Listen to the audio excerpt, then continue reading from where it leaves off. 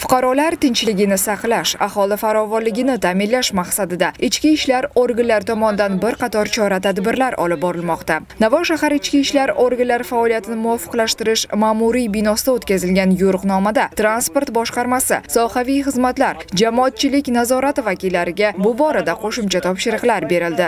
Shundan so'ng xodimlar xizmat avtomashinalarida taqsimot asosida belgilangan manzil tomon o'zlariga yuklatilgan vazifalarni bajarish uchun yo'l olishdi. Navoiy shahrida harakatlanib kelayotgan mana bu mashina to'xtatilganda haydovchi tegishli hujjatlarsiz avtomashina boshqarib kelayotganligi aniqlandi. Familiyangizni bilmaysizmi? Ha? bir yuz o'n beshinchi oromga. Yerlarda yaxshi shu keling filtrga yetaylik haydovchi o'zini ism familiyasini ham bilmaykanda sodir qilgan qoidabuzarligini va uning oqibatini yaxshi bilgan haydovchi shaxsini tasdiqlovchi hujjatlarini taqdim etmadi. Ustiga ustak ism familiyasini ham aytishdan bosh tortdi. Shundan so'ng mazkur fuqaro filtr guruhiga olib kelindi. Bu yerda esa u o'z ismi va familiyasini ham unutib qo'yganligini ta'kidladi. Man sizdan yana bir marta so'rayapman hurmatli haydovchi.